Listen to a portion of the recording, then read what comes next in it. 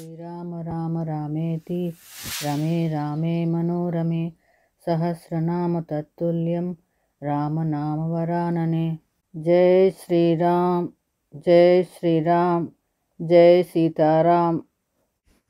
రామాయణ అనుభవం అరవై రెండవ భాగము. సీతారామ లక్ష్మణులు భరద్వాజ ఆశ్రమం చేరుకున్నారు.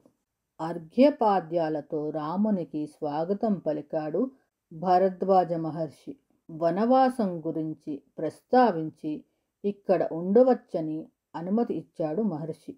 అందుకు అంగీకరించలేదు రాముడు. ఇక్కడ దగ్గరగా జనపదాలు ఉన్నాయి.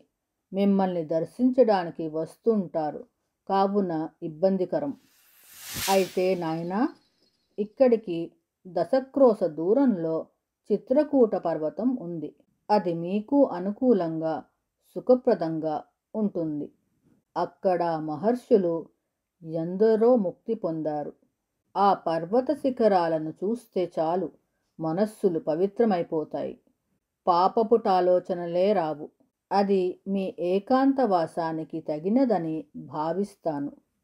అంతలోకి సాయంకాలమయ్యింది. పుణ్యకథలతో చిత్ర విచిత్రమైన గాథలతో రాత్రి గడిచింది.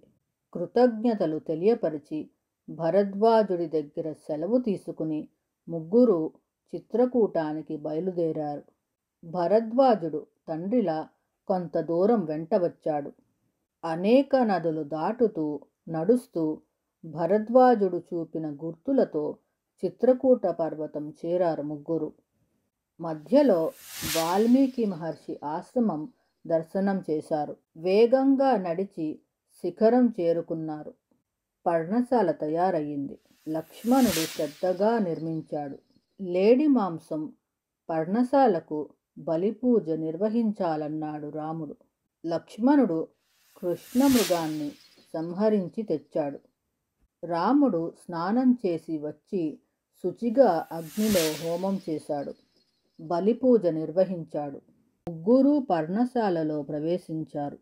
దేవతలు ఇంద్రసభలోకి ప్రవేశించినట్టు ప్రవేశించారు. శుభసూచకంగా పక్షులు కిలకిలారావాలు చేశాయి.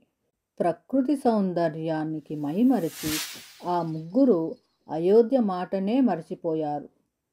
శ్రీరామ రామ రామేతి రమే రామే మనోరమే సహస్రనామ తత్తుల్యం రామనామవరాననే